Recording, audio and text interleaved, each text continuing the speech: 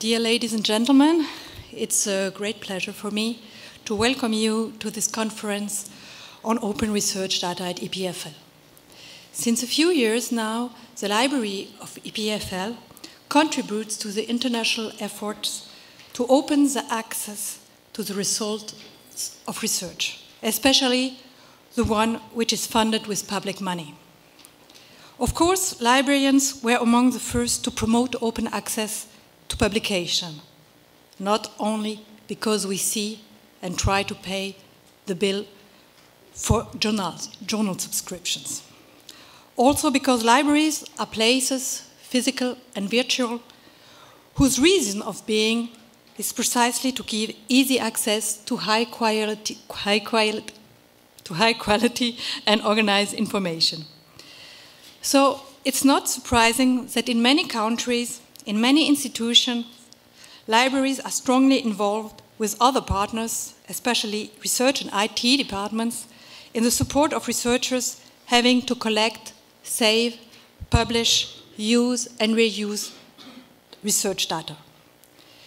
It's known that only 20% of the valuable, essential information is in published papers. The rest is in data. Scientific, technical, functional, ethical, legal, economical, and financial issues are to be considered. Today, some of these issues will be put on the table. Many questions will be discussed. This morning during presentation and this afternoon during the workshops. The program of the day is rich, and I wish us all a very interesting and fruitful conference. Before introducing our first speaker, I just would like to give a short notice about a last minute program change. Unfortunately, Mr. Pattinson from PLOS would not be able to hold the planned workshop this afternoon. So the PLOS workshop is cancelled, and we move the workshop by the CERN to the forum here.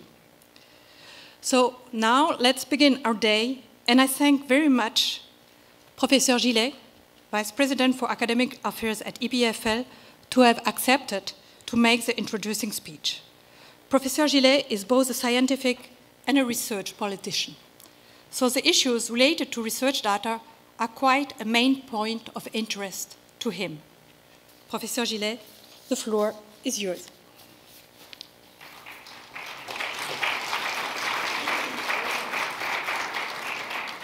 Thank you very much, Isabelle, for these few introductory words. So, welcome to the EPFL for this Open Research Data Day that follows last year's successful meeting uh, conference on open access. The interest of, as Isabelle already mentioned, the interest of the international scientific community for open research data is clear. Today, we are more than 300 people that have attended this meeting uh, from Switzerland and abroad, and it is with a great pleasure that I welcome you here today at EPFL. For those who do not know uh, EPFL, I would like to briefly provide a few uh, facts and figures on our school.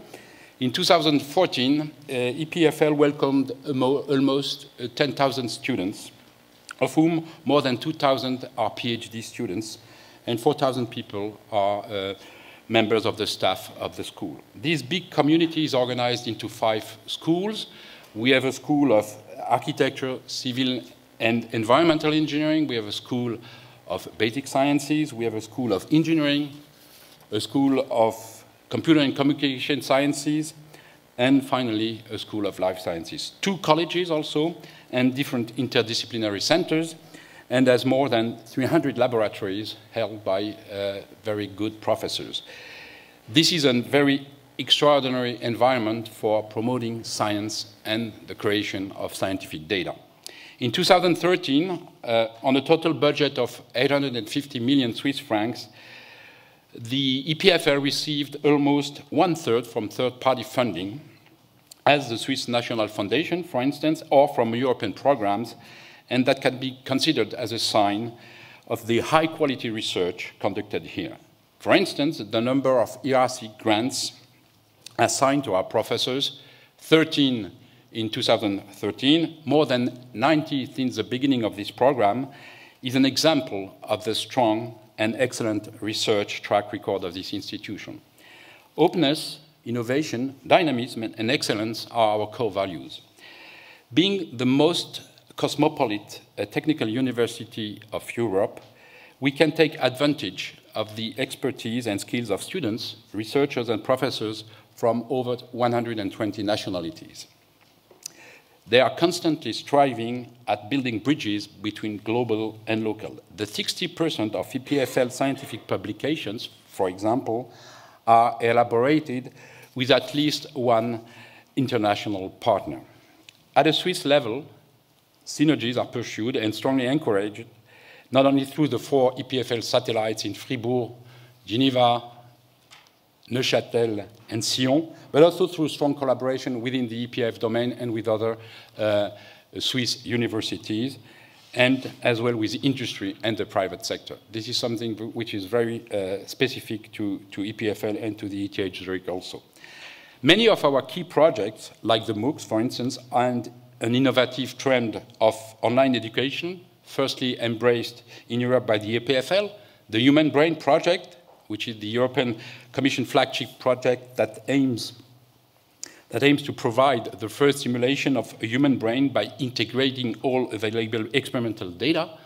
The Venice Time Machine, uh, which is an interdisciplinary educational and research program launched by the school and the University Ca' Foscari in Venice, aims at digitalizing 70 kilometers of archive from the city uh, that cover more than 1,000 years of the history of the city this will perhaps enable us to create the first Google machine, machine of the past. All these projects I just mentioned are great examples of the importance of collaboration in research and education.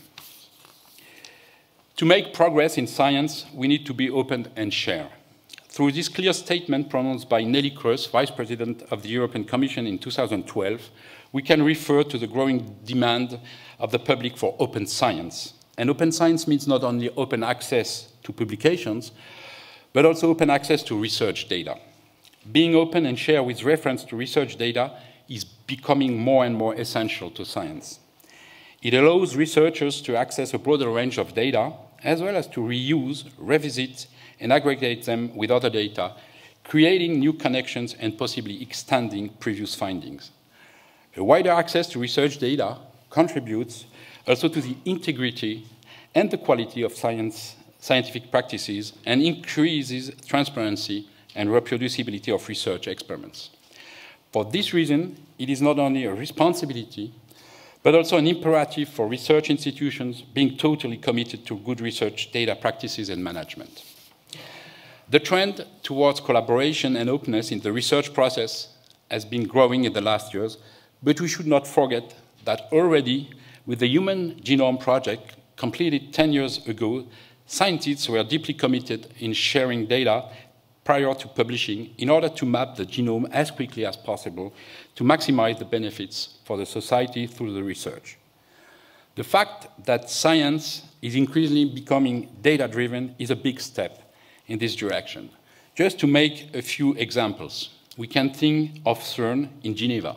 The collisions in the Large Hadron Collider generate a tremendous amount of data, one petabyte of data per second.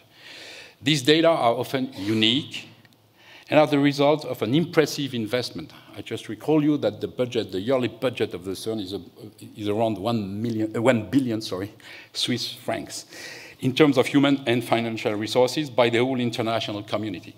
Consider the CERN engagement in making all its scientific output openly available.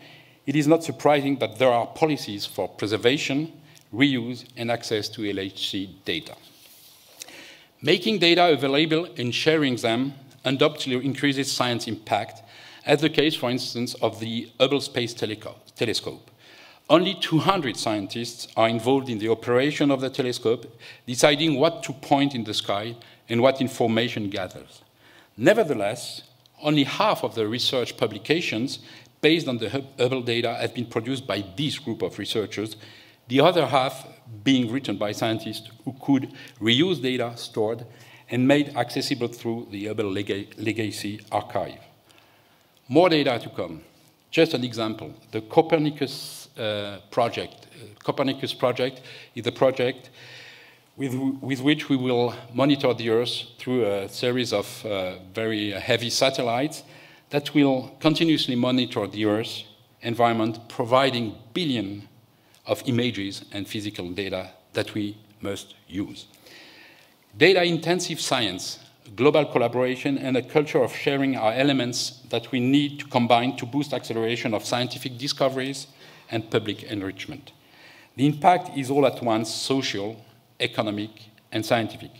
The results of publicly funded research should be considered as a public good and thus, not, and thus sorry, to be made accessible and discoverable in a way that maximizes the public benefit, contributes to innovation and economic growth, and enhances the contributions that science makes to society. The demand for research data sharing is clearly expressed by the funding agencies today. They require to researchers and institutions to preserve the data and to make them available. They increasingly ask, ask to develop strategies on handling our data treasures and take responsibility for the curation, management, and exploitation of data for future use. The National Science Foundation and the National Institutes of Health in the United States, the European Commission, the European Research Council, and the Wellcome Trust in the United Kingdom are only a few examples of funding bodies that have developed research data policies with a fundamental interest in ensuring that the results of the research they fund are disseminated as widely as possible. A major role in this sense is played by the publishers as well. There is an increasing request for making data underlying the publications fully available. These policies are a big push towards the change of, in the data sharing culture at a large scale, but intellectual property implications on shared data are still a concern that we do not have to underestimate. These valuable aspects will be highlighted during this conference. Challenges and stakes associated with open access, preservation, and dissemination of data are many, are many and various. Technological, legal, ethical, and institutional issues have to be faced today. So many different actors are implicated. Every research institution has an important role to play in creating research data, sharing infrastructures, and even more in supporting and assisting researchers to deal with research data management at large. For this reason, setting general institutional policies and guidelines in accordance with national ones, if they exist, is a basic step to define the framework and to support an open data culture. Libraries, uh, where is Isabelle? Libraries are perfectly positioned for providing assistance for management, curation, and preservation of data, as well as for offering advice on funding sources, research data citation, and copyright issues. The IT support can give an invaluable assistance for advice on data formats, metadata, and long-term preservation solutions. As I said before, and as we will certainly hear during the conference, funding agencies and publishers are important stakeholders too. Only a strong collaboration between all these actors and the researchers, who have the main active role of data producers and data users, will allow to fulfill the, multi the multitude of responsibilities and tasks we are assigned to.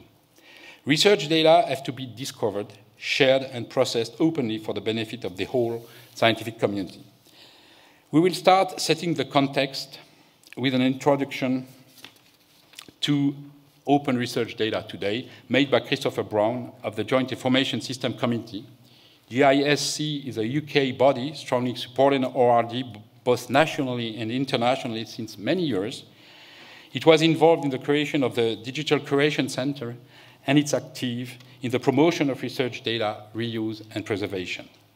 Open access data management plans collaboration, standards, and improvements of the infrastructures that enable, enable universities to perform better research. A professional management and storage of research data requires important resources, and thus as a cost, and therefore funding and collaboration. Daniel Spichtinger, Officer of the European Commission, will explain Horizon 2020's views on that matter. Then Martin Vetterli, head of the Swiss National Foundation and EPFL professor, will follow with the stakes behind ORD, notably its implication and great importance in the research's reproducibility. Data curation implies taking care of the subject and context information associated to the primary data. Data reuse, indeed, depends upon efficiency, discovery methods, and an accurate data description. For example, a spreadsheet in a proprietary format without column, headers, headers, no units is quite useless. Thus, metadata and archival standards must be set up in the data stewardship process. On that subject, the institutional strategy of ETH Zurich will be presented by Dr. Matthias Töwe, head of the Digital Curation Office. A practical workshop uh, on a generic data packaging open source tool, DocuTeam Packer, completes this presentation. Another workshop, organized by Gael Annex, offers you the opportunity to put yourself in the researcher's shoes and organize your data in the electronic laboratory notebooks used by about 20 labs at the EPFL Life Science faculty. The central subject of data publishing will be covered extensively in the afternoon. The heterogeneous data publishing workflow will be discussed by Dr. Sünje Dallmeier-Tiessen of CERN. Scientific journals, as traditional vectors of science, have of course an important role to play in, the, in publication, in data publication. Today, but I, I, think yes, cancelled his, uh, his uh, meeting. Uh, Dr. Uh, Damian Pattinson of PLOS uh, will not present his work, so uh, you, will, we, you will save some time then. In, in all publication, an ambiguous identification is of, is of essence. Data sets, articles, and authors have to be identified uniquely in order to be linked together and allow a good discovery, analysis, and reuse. This will be developed by Josh Brown, Communications Manager of ORCID EU. Publish the data, but where? In data repositories, of course. Re3 Data, a director of data repositories, sorry, indexes more than 900 of these today. And that is what Dr. Jürgen Göbel-Becker will present in his talk. In parallel, more specific workshops and talks will take place, place such as the one given by Lars Holm Nielsen of CERN, who will unveil Zenodo, a generalist repository, or the one during which André Golliez of ORD at Switzerland will expose the Swiss ORD platform project. Data reuse or open science are the ORD central topics. Introduced in the already mentioned plenary Open Access, Open Data, Open Science, this subject will be set into practice in a Wikimedia workshop. Charles André Charles Andres, Wikimedia Chief Science Officer, will show how to use concretely Wikipedia data in a scientific context. context. A plenary by Dr. Jean-Luc Cochard, Head of Information Technology Unit at Swiss Federal Archives, will discuss possible synergies between open government data and ORD in general, with a focus on the Swiss OGD portal. In order to make ORD happen, data services have to be implemented and promoted, and data management plans have to be created. This is badly needed today. These topics will be developed in a plenary by Robin Rice, working at the University of Edinburgh, that adopted a data management plan in 2011. University of Edinburgh will also hold two related workshops, one on creating a DMP, another on Mantra, a self-paced online research data management training course. More RDM learning material will be uncovered in the RDM Rose workshop by Dr. Andrew Mac Andrew Cox, University of Sheffield. I'm sure that all the selected topics will provide you with a wealth of information and many opportunities for discussion. Uh, I wish you a very pleasant stay at EPFL and in Lausanne, and above all, a productive and successful conference today. A few, a few supplementary works. I think these are my very personal words. Um, I'll just give you an example. Today, all the space data that are been gathered in the beginning of uh, space exploration and monitoring of the Earth, we only use 10% of this data. And uh, there is 90% of this data which are still somewhere. We do not know if they are properly uh, archived somewhere. But this is a, a, real treasure for, for science. And many of the data we are just producing today are not used. And I think it's our responsibility to make them available to the maximum of research, to ma maximum number of researchers in the world, uh, in Switzerland of course, but also in the world, but because there are a lot of, uh, of things that can be used in this data and, and, and provide and, and, give good science and lead to uh, very big discoveries. Thank you very much.